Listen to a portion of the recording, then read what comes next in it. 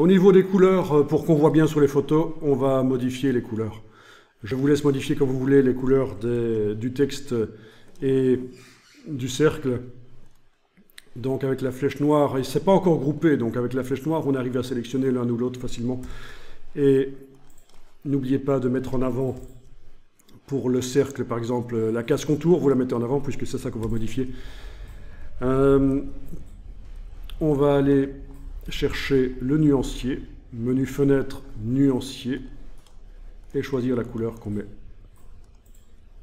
Y compris pour le texte aussi que je sélectionne, mais cette fois-ci c'est évidemment la case de fond. Voilà. Peu importe, c'est juste un exercice. Le logo est pourri, on le sait.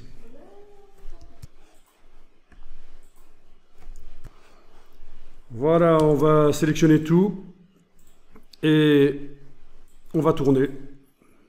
Donc, en ayant tout sélectionné, je mets le pointeur tout près d'une poignée du coin, j'ai la flèche qui tourne.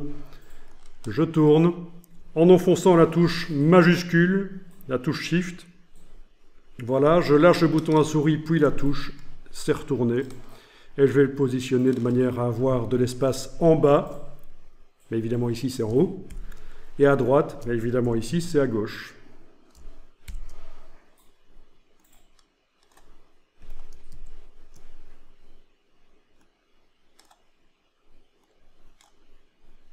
Voilà. On positionne plutôt à cet endroit-là. Et on va enregistrer le fichier. Dans le dossier décompressé que vous avez euh, pris tout à l'heure, on va peut-être changer le nom ici. Et je vais indiquer que c'est en couleur et que c'est inversé.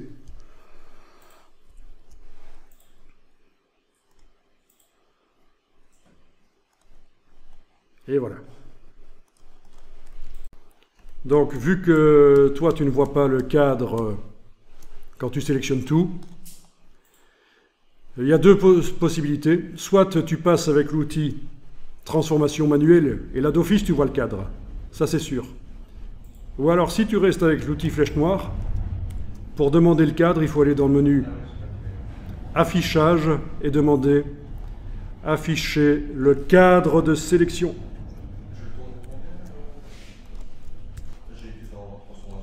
Double-cliqué sur l'outil transformation ou quoi Non Ah, tu as.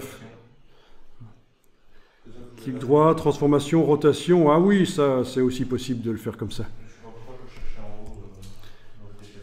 Oui.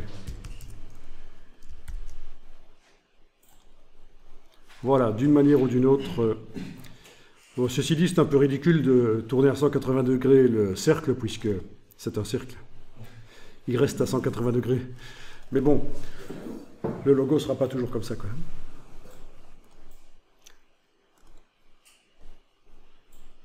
Bien, à partir de là, on va passer dans Photoshop. On va ouvrir les images dans Photoshop.